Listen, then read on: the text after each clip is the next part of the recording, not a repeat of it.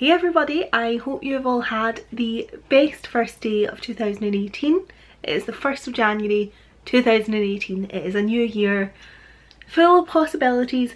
I'm also really psyched that it starts on a Monday. Like the fact it is Monday the 1st of January of a new year just, well obviously it's a new year, it's January, you know what I mean. Like I find that so exciting that it's Monday, it makes me really, really happy.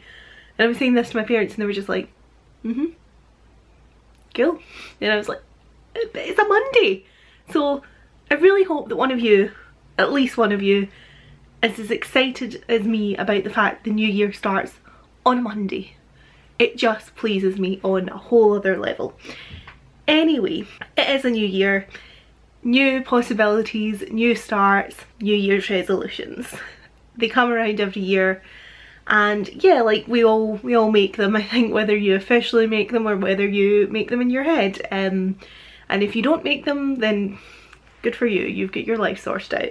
But I like New Year's resolutions. I just think it's it's nice to take stock and you know take that time for yourself to consider what you want to change and what you want to work on. I think that's I think it's like an act of self-love actually to sit down and see this is what I'm not happy with and this is what I'm going to do about it and it's full of hope and promise and I am so on board with that. But as well as some personal resolutions that I'll be making, I also have some that are beauty related and I thought I would make a little video and tell you guys about my beauty resolutions because I think they're going to have a big impact on my channel in 2018 and the sort of content that I'm doing and things like that.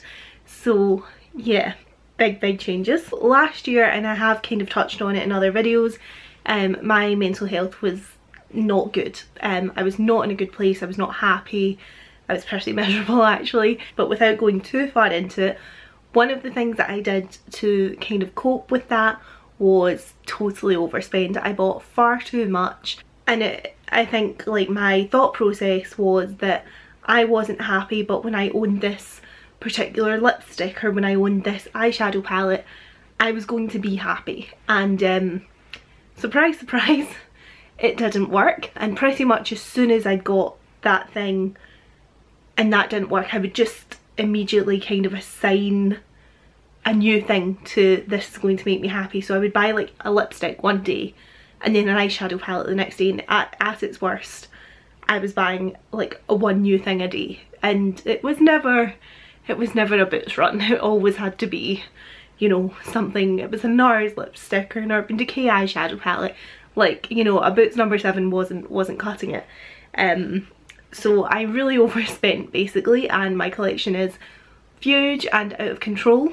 So the first thing that I'm going to do throughout January is upload quite a lot of videos. I don't want to quite say I'm going to do a video every day in January because I said that before that I was going to blog every day and it didn't happen so I don't want to set myself up for failure but I'm going to do quite a lot of content in January that is going to be a lot of hauls because I want to get everything that I have bought filmed shown to you guys in a whole video and put into my makeup storage or like my skincare storage. Once I have done that and I have shown you everything and put it away I'm going to film a makeup collection video. I've been asked for that a lot. I think it's one of the most popular requests that I've got and I've always been like, oh, I've got this haul to film or like I'm not happy with my storage or whatever. Once I filmed all these hauls, I'm just going to film this makeup collection because the first resolution that I've got is a year-long no-buy. So whatever my makeup collection looks like at the end of January, that is going to be the biggest it's ever going to be. It's going to be the most organised it's ever going to be probably in terms of in its current carnation anyway. And yeah, the storage is never going to be perfect, but it's going to be switching about a lot this year whilst I do different things. So yeah, I'm going to film that at the end of this month and then I'm going on a year long no buy. So I'm really, at the moment it seems like a good game. I'm like really and you know when you when you first start something you're like yes I'm so into this like this is a great idea. Um, so at the moment I'm not worried about it but I know that there'll be something that will release later in the year that will be limited edition and I will be like dying over it. I know that I'm going to be tested throughout this but yeah I need to do this year long no buy because my collection is completely out of control. I have notes by the way. There are four potential exceptions Number one is brushes. I am going to let myself buy makeup brushes, only ones that I know that I need and not ones that I'm deluding myself that I need. Um, but basically I keep using the same ones. I have far too many brushes. I'm going to clear out the ones I'm not using, buy a couple of backups and just have less better chosen brushes. So I am going to let myself buy brushes. I do only have one makeup setting spray if I finish that, which I don't actually know if I'll finish it in a year because I've had it for quite a long time um, and it's still over half full. So I don't, I don't actually see me finishing it in a year, but if I do finish it in a year, I will let myself replace that because that's not something I hoard. I have one if I finish it, it'll be a one in, one out situation. The third exception is an eyebrow pencil, which to be honest, I'm thinking I'll probably ask for it for my birthday in July rather than me actually breaking my no spend for it. This in itself I think is like my first lesson that I have learned this year is that I love like eyebrow pomades and powders and I love the look you can get with that but on a daily basis what functions for me is an eyebrow pencil. It's quick and it's easy and I have far too many pomades and powders and things for somebody who is not willing to do that on a daily basis. Like I'm not willing to get up in the morning and do that. So um I think there's going to be a couple of other lessons like that this year where I will learn that yes I like this and this is the ideal but actually this is the reality and this is what I use and this is what functions.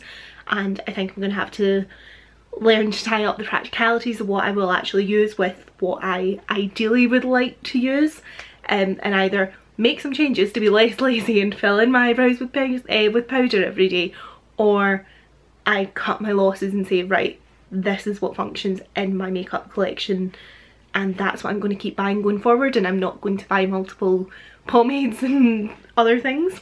So yeah, I, I think that's that's been a kind of realisation already for me. So come my birthday in July, if I have finished up, I've got three I've got three eyebrow pencils at the moment um, and if I've finished all of them in July I will ask for another one. If I've not finished them all in July but I do finish them all by the end of the year I will buy another one but we'll, we'll see what happens. The fourth exception is that I may be going to New York later this year. There are practicalities, that seems to be my buzzword, there are practicalities that are very much in the way of that and I don't know if it's realistic um, but we have kind of priced it up and I'm really really keen for it so if I go to New York it'll be in September um, September October kind of time we're looking at. Um, I will let myself buy things in New York. However if we go I will set a budget. There will be certain rules like I will only be allowed to buy things that I genuinely cannot get at home or that are much much cheaper um, in America than they are at home. So that will restrict me. I'm also hoping that by September October time having been on this no buy and doing the other things that I'm going to do um, I will kind of have learned my collection a lot more and I will be a much more mindful consumer. They will be my only phone exceptions, may or may not happen, but yeah, just in case they do happen, I'm putting it here at the start that those are the exceptions to the year-long no-buy. I made my last purchase on the 15th of December 2017, so my year-long no-buy, I want to take it to the 16th of December 2018, so that is the plan, fingers crossed. And the second thing that I'm going to commit to resolutions wise is that I am going to do the Reverse Rouge challenge this year. So Reverse Rouge is a Reddit challenge where you tally up everything that you've used and basically in the way that you would achieve VIB Rouge in Sephora, you achieve Reverse Rouge by using up a thousand dollars worth of product. Um, last year I was VIB Rouge by May. Um, when I went to Florida. I, I redid my status in May. When that's that's a thousand dollars in a in a shop that isn't even in the country that I live in that I've managed to spend. Um, I was also Space NK Indulge Deluxe, which is a thousand pounds in a year, and I'd done that by April. So Reverse Rouge is about doing the opposite where you get a point for every dollar that you use up, and you aim to use up a thousand dollars worth of product. And part of that is that it will make me hopefully a more mindful consumer um, because it will make me realise just how long things actually do take to use up. Um, you know, we always say on YouTube like, oh this palette is like such good value for money because it's like 40 pounds and you're getting 12 shades. And it is, but it's like the actual how long it would take you to use up a palette is insane.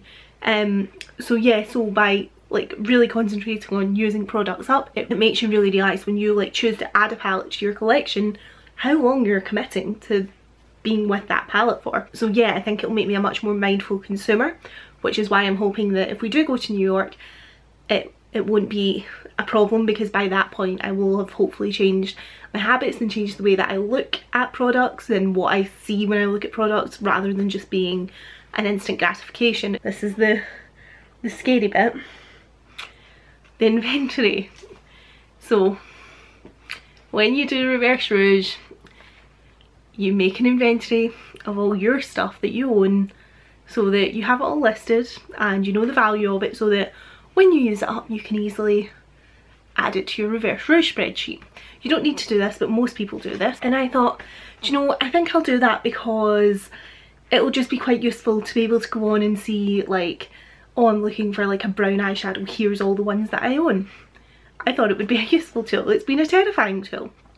Basically guys I could have had a deposit for a house because my makeup inventory as of right now on the 1st of January 2018 my hair care is worth $1,926.82 my skincare is worth $10,518.90 and my makeup collection that stuff behind me that all fits on a dressing table is worth $16,506.45.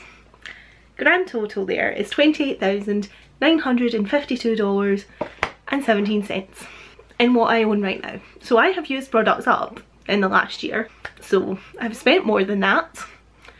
I have products that I need to film throughout January and add in.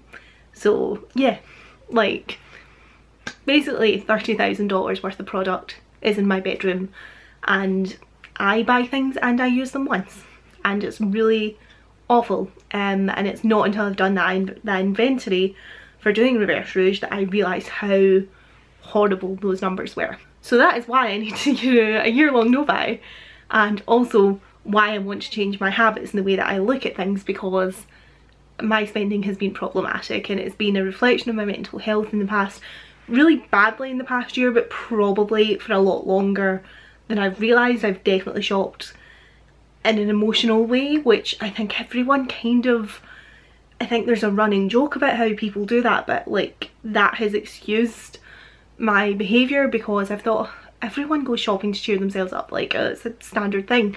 And it's like no not not the way that you go shopping pal. So yeah I really need to change my habits.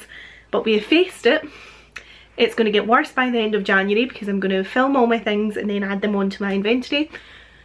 But then it's only going to get better from there on in because we're going to change our habits.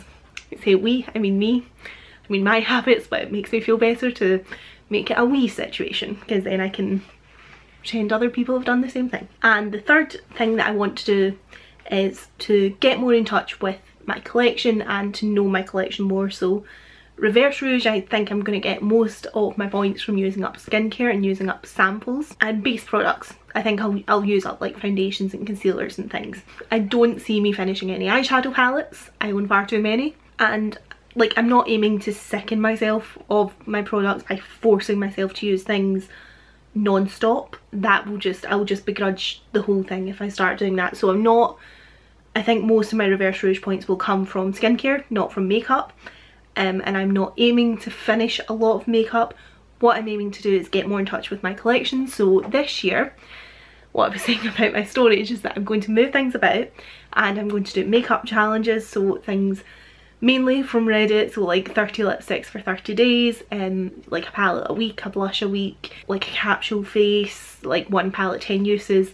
I haven't picked all the challenges yet, I have a list of challenges. Pick a kind of different one at the start of every month and uh, I'm going to hopefully explore my collection more and get more in touch with what it is I actually own because there's so much stuff that I bought and literally swatched on the day that I bought it and bought it and then it's gone into a drawer with other lipsticks and I'm like I don't even know what that is like I've forgotten about it as soon as I bought it because I bought it for entirely the wrong reasons. That was my shameful confession of how much I've spent on beauty products in the last little while that's my resolution. So number one is my year long no buy. Number two is to achieve reverse rouge at least and I think you get something called like double platinum patina or something if you get $2,000 which would be really good but if I use a thousand dollars worth of product and I achieve reverse rouge in a year I'll be quite happy with that um, and to do makeup challenges and to get to know my collection more so I'm going to I think do maybe an update video I don't know maybe every month might be pushing it maybe every six weeks to every two months and let you guys know what I've used up and what my challenges have been and what that's taught me and what I've learned from it and hopefully this will be a journey where I really do change my habits and I address my feelings in other ways that is not spending money on things and then being like shit I could have like totally put a deposit on a house by now if I hadn't bought all that stuff. So yeah, the worst is over. I have put it on camera, I put it out into the world that I'm a shameful person and yeah, it's it, it can only get better at this point. So those are my makeup resolutions or my beauty resolutions. Let me know if you've got any beauty resolutions or any other resolutions this year in general. Um, I wish you lots of luck with them all and thank you very much for watching and yeah I'm excited for 2018 and what it will bring us. Bye!